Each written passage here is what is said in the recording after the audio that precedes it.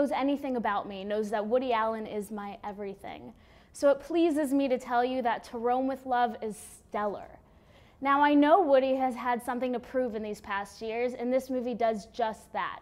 To Rome with Love doses you with classic Woody Allen humor while maintaining an interesting and surprisingly engaging storyline. Popularly labeled a kaleidoscope film, To Rome with Love follows a few different characters and their experiences, experiences in the ever enchanting Rome. Jesse Eisenberg, Alec Baldwin, Ellen Page, Greta Gerwig, Woody Allen, Penelope Cruz, and so many more amazing actors graced this film, but the real standouts were the otherwise unknown Italian actors. The most exhilarating thing about this movie is getting to watch my one and only Woody Allen act again. Seeing him on screen is such a delight.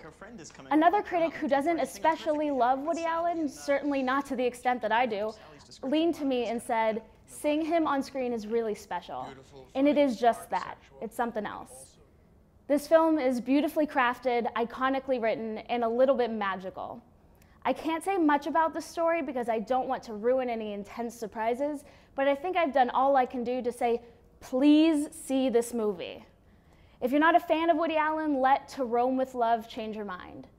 Now, enough of this love letter. To Rome with Love is, without a doubt, worth the price of admission. So, what did you think?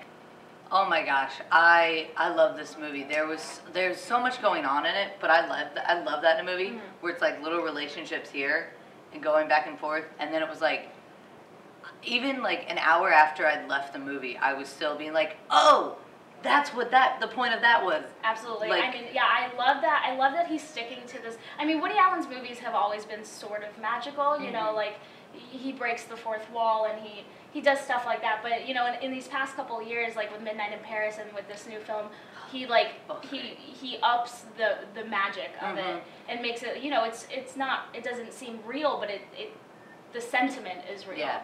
You know, it's so. God, I love him so much.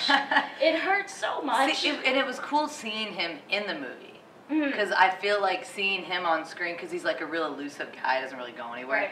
I feel like seeing him on screen and kind of play himself a little bit, like kind of yeah. neurotic, yeah. is kind of like a little secret gem.